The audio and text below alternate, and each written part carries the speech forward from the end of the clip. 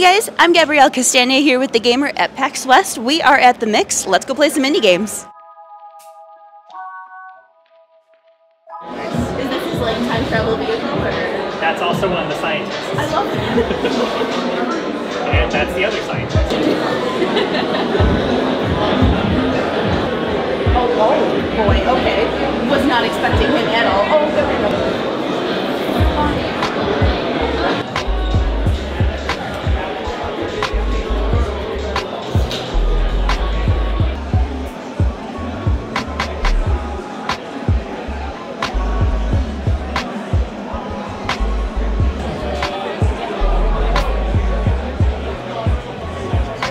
Hi, I'm Kai. I'm one of the developers here at Wrong Organ. Uh, Mouthwashing is a narrative horror game in the PSX aesthetic.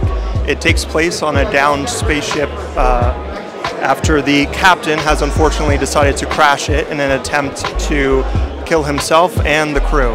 Uh, fortunately or unfortunately, everyone has survived. The captain has become horribly disfigured, and the crew finds out that the only supplies they have instead of their initial stuff is mouthwash.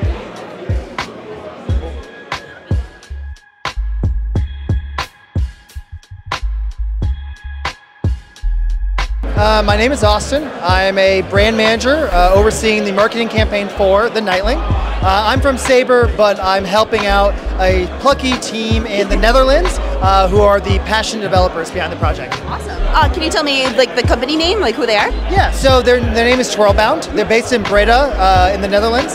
this is their second game. Their first game is called Pine. a sort of open world, survival-esque sort of game. Uh, and this kind of follows some of those trappings, but obviously lots of learnings and growth from the team.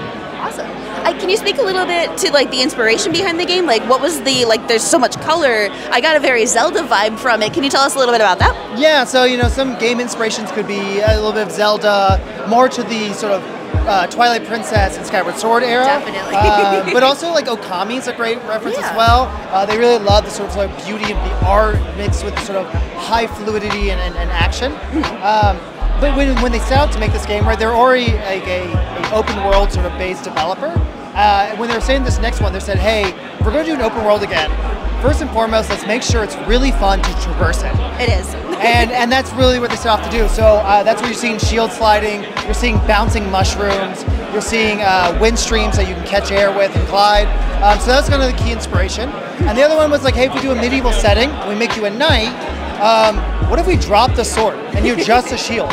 And so there we born the Swiss Army shield of weapons. Um, and so this shield's going to help you traverse, but also have a variety of combat abilities and, things like that. No, it's cute. I, like you touched on it a little bit. The Knightling is a child. I can you like tell us like how that came about? Like he's a little kid. Like in the demo, everybody's like, "Well, all right, calm down. Let's wait for the big knight." Like, how? What? What was that like? Yeah. So you know, as a Knightling, it's kind of a squire in the world or knight in training.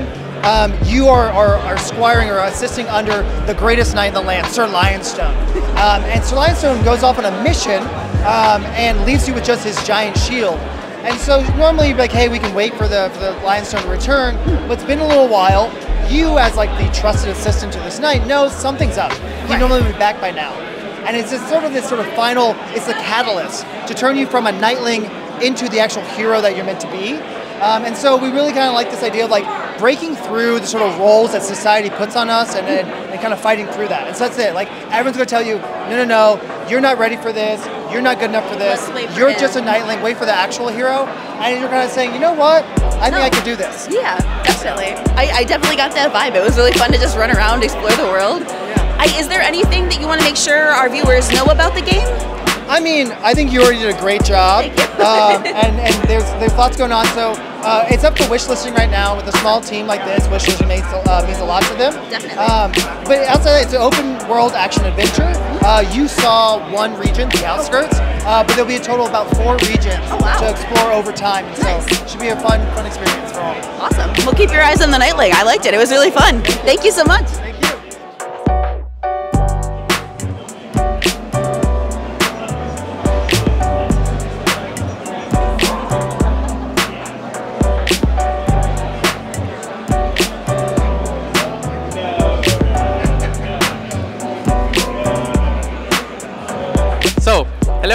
Lautaro. I am the lead game designer for Rodeclick, and we are here at the mix with the Karate Kid Street Rumble game that we have worked on for quite a while. It's a retro beat 'em up uh, with a really good uh, classic pixel art, and it can support up to four uh, players simultaneously, and it features a mixture of levels and minigames to retell the story of the first Karate Kid trilogy. Uh, that will be the well, the first one that everyone knows against Johnny, the trip to Okinawa, and the third one, which is the first one with Terry Silver. It has been it has been quite a journey. We try to do our own spin on the beat 'em up genre that has come with like a really big resurgence lately. The, you can see some of our inspirations, such as Red Revenge for for the art style, which we took a lot from them. Their their their rate. Here with Diego from Bam Games, we're talking about Looney Tunes Wacky World of Sports. How are you, Diego?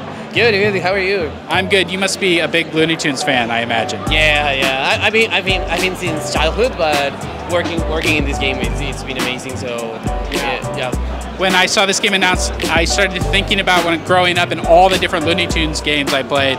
And for some reason, there was a lot of Looney Tunes games. I'm curious if you've heard of some of these because these are probably deep cuts. Can I run a couple by you? I actually remember the Super NES games. Yes. Uh, I, I was a big fan of them. Uh, Yes. and they were they were also sports games. So That's true. Yeah. Some of my favorites was uh, Taz on the Genesis. I had a Game Boy game called Looney Tunes Collector Alert. Have you ever heard of that? no, no, no. Yeah, there's some weird ones. Uh, Bugs Bunny Lost in Time on the PlayStation. I, I played that one. Played that one? yes. Yeah. I something about this gives me that kind of nostalgia, you know, and it feels like a throwback Looney Tune rather than maybe one of the more modern iterations. Yes, well, actually, we went for the Chuck Jones style uh, of, of, of uh, animation and, and art. So it, it is actually a bit of a throw, throwback. Cool. Yeah. Uh, can you talk about how this even came to be? Well, um, we were approached by by, by GameMill, and and as soon as we got the brand, we, we were like, yes, we, we want to do this, and uh, it, it was a it, it was a process of getting to know the four sports because, uh, for example, golf is not a big uh, sport in, in, in Peru where, where the studio is based, but still, uh, we we just was went for it and and and we made it happen. So how did you choose what the sports were going to be? Um, it was basically based on uh, how, how much popular are the sports now and how, how good they translate to video games as well. Basketball has, has been translated uh, pretty well, uh, soccer and, and tennis and of course golf. So that, that What goes into bringing the personalities of each of the characters into the game?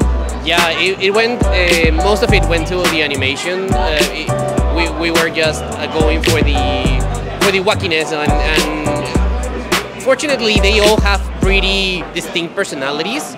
So we got to play a lot on a lot of, a lot on them, and that's how we did it. Very cool. When does it come out?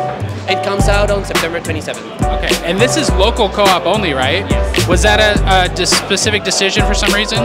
Uh, we just wanted to focus on a on a more intimate experience. Okay. Yes. Very cool. Thanks, Diego. Thank you so much.